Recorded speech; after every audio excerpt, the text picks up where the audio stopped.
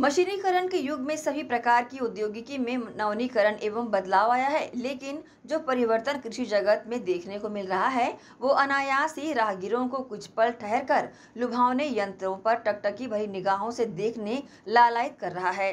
गौरतलब है कि भारत एक कृषि प्रधान देश है।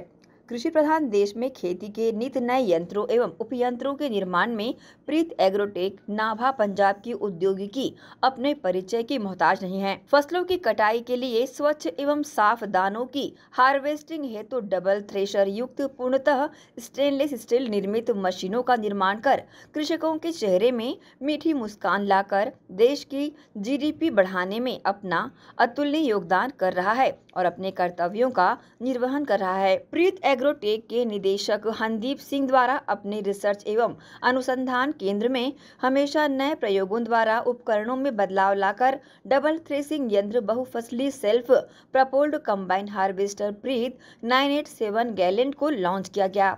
यंत्र की डिलीवरी प्रदान करते हुए मुख्य अतिथि ओम गौतम, शाखा प्रबंधक इंस्टेंट बैंक गंजपारा, इकाई, कमला मोटर्स के संचालक कैलाश बरमेचा सेल्स प्रमोटर सत्यश्री लक्ष्मी नारायण शाखा प्रबंधक खेमचंद गुप्ता, मैकेनिक किशोर निषाद, पुजारी अजय चौधरी, फोरमैन एवं सागर ऑटोमोबाइल के संचालक किशोर साहू और साथ ही मशीन ग्रहण करते हुए देव कुमार पाल, लघु भ्राता मुकेश पाल, मुकेश मस्तके चाचा तुकाराम पाल आदि और साथ ही साथीगण शामिल रहे।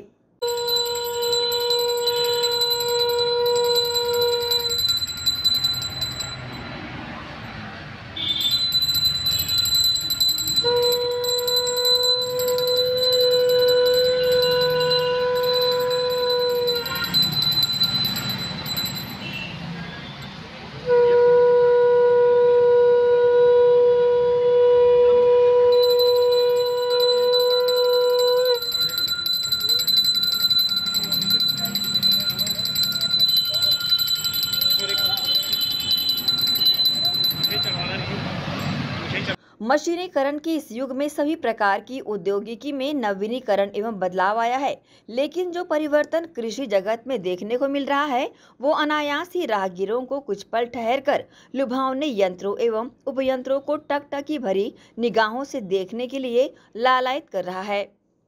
एसीएन न्यूज़ के लिए शाहिन खान की रिपोर्ट।